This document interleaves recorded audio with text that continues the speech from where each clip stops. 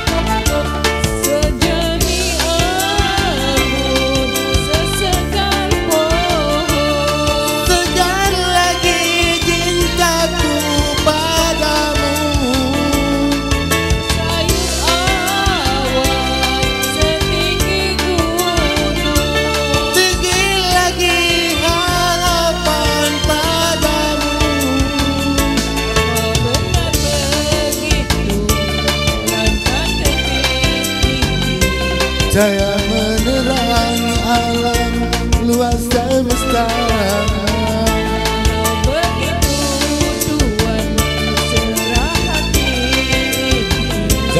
Kau bimbang lagi Kau kasih.